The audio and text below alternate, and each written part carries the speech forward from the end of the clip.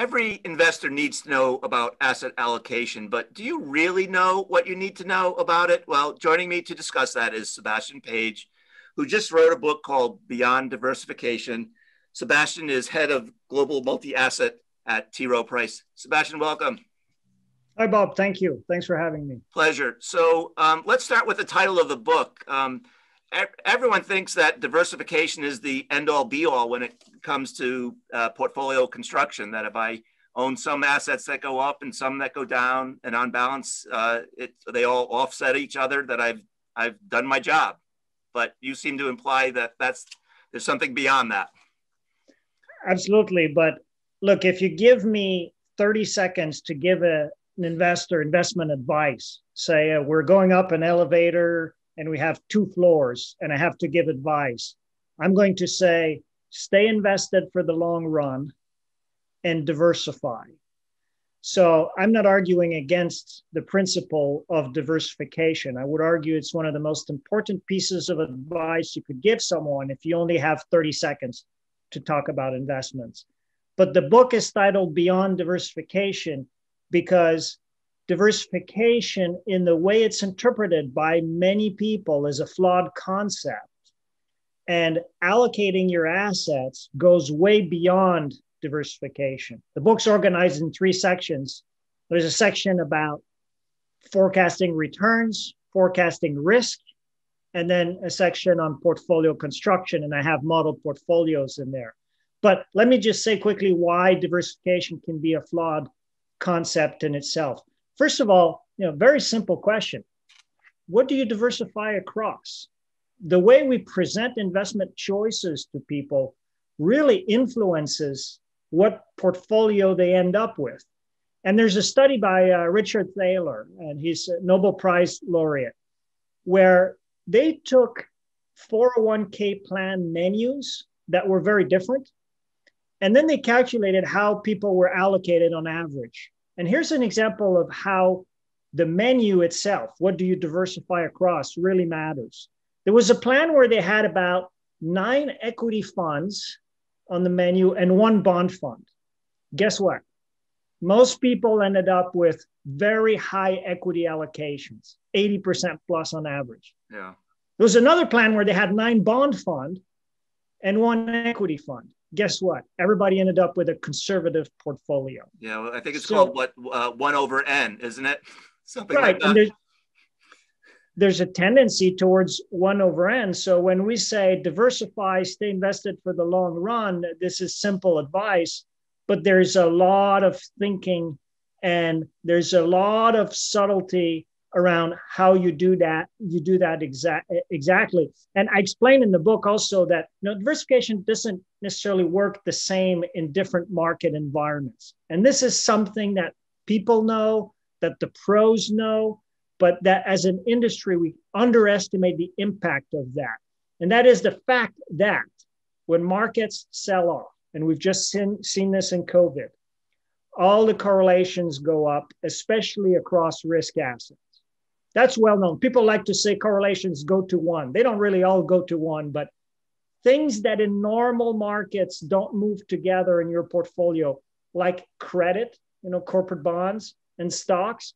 all of a sudden, when stocks are down by 10, 15%, all start moving together. So you lose the diversification effect. Okay, that's that's fairly well known. Diversification doesn't necessarily mean hedging the downside. And that's pretty important, right? So what do you do again beyond diversification? Now, here's the issue though. Eh, when Bob, when when do you think diversification works the absolute best historically? Uh, and I I don't mean to put you on the spot. I no, that's all right. I, I don't mind flunking this test. Um, uh, during bear markets. So it works. It works the absolute worst during bear markets, and you can. I showed in the book if you take the 5% worst monthly returns for the US stock market in history, you get the highest correlations. You get everything moving together. If you take the 5% best monthly returns for US stock markets, when, when stock markets rally, you get fantastic diversification. Correlations go way down, they become negative. This applies, for example, to the diversification between international non US stocks and US stocks. Works really, really, really well when you really don't want it in up markets and really badly in down markets. So this asymmetry really should influence how people think about building portfolios. It it means we should focus a lot more on the diversification between stocks and bonds, and especially treasuries, because that type of diversification works differently than between US stocks, non US stocks, value stocks, growth stocks, and so on. It also means that we should look for assets or portfolio solutions that behave in the way we intend diversification to work during sell offs. So this has just a lot of implication with how we construct portfolios. And that's why in the book, I end up showing model portfolios where you focus on downside risk exposure. Um, really, I, I, think it's an important concept. It's well known, right? But uh, there's a there's there's kind of a lack of attention to this, I think, still across our industry. Yeah. So would it be appropriate to talk about your seven rules of thumb for portfolio construction at this moment? I, I know there's lots that we could talk about and, and will, but um, do you want to talk about the, your seven rules? Uh, yes, Bob, thank you for that question. I have rules of thumb for each section of the book, and portfolio construction is, in my mind, the most important one. So here they are. First, I talk about not using risk factors, which is the new trend here. This is a new concept in our industry as substitutes for asset classes. I don't think there's a need to overhaul portfolio construction to move away from asset classes towards risk factors. But I also explain that risk factor analysis, for the pros at least, uh, those that have the tools to do it, can be quite useful for risk forecasting. But there's no need to rethink portfolios and get, a, get, get away from asset classes towards risk factors. Second, um, that is the recommendation is to use risk factors, but more to assess portfolio diversification, uh, forecast risk, and enhanced scenarios. So here's one way to think about it. If you're invested in stocks and high yield bonds, with your high yield bonds, you have in part some stocks like or equity like exposure. So when we talk about risk factors, uh, this is uh, this this is how we talk about diversification is the fact that this portion of high yield bonds that looks and acts like a stock especially in down markets is all part of the same risk factor. So rethink diversification that way. Um, for those popular products nowadays that look at risk premia uh, where you can get access to the value factor uh, you can even get it through etfs for example right or get access to the small cap uh, factors. Those can be interesting as part of portfolio construction, but uh, in my book, I explain that you really need to be careful with backtest results and that those probably command a relatively small allocation. And there's a handful of them, like the volatility premium that, uh, or the low risk premium uh, that can perform well over time, um, or that at least have shown good results in a robust academic studies. Okay, so we're at three. Uh, number four, uh, first question any investor needs to solve for portfolio construction is what is your stock bond mix? This is the most important question you need to solve for, and it really influences your long term results. In the book, I talk about how to do that as a function of how far you are from retirement. But remember that how much you should allocate to stocks and bonds also depends on what capital markets can offer going forward. What is the long run expected return on stocks and bonds? And that should influence your allocation. How well funded are you? Basically, do you have enough money set aside so that if you assume reasonable growth in your portfolio and steady contributions, you'll have a pot that's big enough at retirement to replace your salary once you retire? And if you're way below that, that might change your stock bond allocation. So, Bob, you can see really quickly that there's so many ways to think about this problem, so many variables to take into account. I think Bill Sharpe described this problem as one of the thorniest, hardest problems in finance, this life cycle investing decision. And the crux of it is how much stocks should I hold relative to bonds? That single decision is quite important. In our target date strategies, for example, if you're 50 years old, so you have about 15 years to retirement, the answer to how much stocks should you own is might actually be higher than most people think. Um, in our target date strategies, you would be at 80% stocks at 50 years old, and then you'd glide down towards 55 uh, once you turn 65 years old. Here's the thing, right? Your retirement date is not a magic date. You need your portfolio to sustain your income in retirement for your entire life 20 years, 25 years, 30 years post retirement. So the answer, very important, determine your stock bond mix first. It's a key decision. That's my rule of thumb. How you apply that rule of thumb uh, can be complex, but when in doubt, look at target date strategies because they provide a good anchor point. Um, so me, try, try to match your risk tolerance. Um, number five, use portfolio um, use portfolio modeling analytics if you have access to them or if you're in a or if your advisor has access to them use judgment and experience to construct the portfolio under the broad stock bond mix. Once you've solved for the broad stock bond mix you start asking questions okay how should i allocate my stocks? Should i have international exposure? Should i have balanced value and growth stocks exposure? And then similar questions for the bond side. Sixth rule of thumb I do think that investors, now even individual investors, need to consider alternatives, whether liquid or less liquid alternatives that are now available more broadly. I don't think they are a free lunch, but in a world where interest rates are very low and bonds won't give you the same diversification going forward, alternatives have a place in investors' portfolio. And uh, for example, in some of the model portfolios, I substitute about 12% of the bond allocation for low volatility alternatives. Uh, seventh rule of thumb, of thumb, I, I, my view is that uh, most investors should allocate uh, between active and passive strategy as a function of risk tolerance. In a low return world, active management done well can deliver excess return over time. And that can become an important part of portfolio construction for investors. A lot of investors nowadays end up with some mix of active and passive, which to me makes sense. So, Bob, it's a long answer, but those are the rules of thumb for portfolio construction that I talk about in the third section of the book.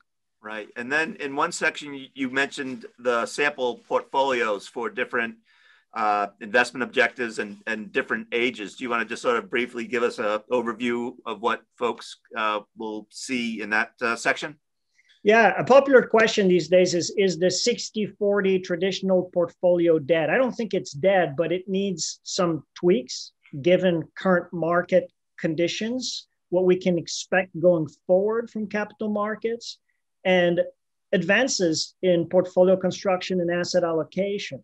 So you start from a 60 40. First of all, you ask, going back to one of my rules of thumb, what is my stock bond mix as a function of my time horizon and risk tolerance? 60 40 is very generic advice, but that's not really the spirit of the question. The spirit of the question is what should we do beyond traditional stocks and bonds, right? Uh, burgers and beers, right? Traditional asset classes. Um, in one of the models portfolio, one of the model portfolios I showed, uh, as mentioned uh, earlier, I substitute 12% from the bonds to alternative types of assets.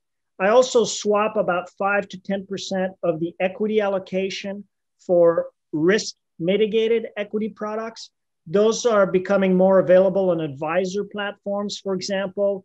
Those strategies typically seek to deliver, say, 70, 80% of the return of equities with as little as half of the exposure to loss or the volatility. So, this concept of risk mitigated equities is making it it's it's used a lot on the institutional space and is making its way to the individual investor space because rates are so low i also uh, create a dedicated allocation to long bonds so in a in a 60 40 i'd probably put three, four, five percent to long bonds because that's where you can still get a rally should equity markets crash, right? Rates can still go down in the long end, a better hedge going forward.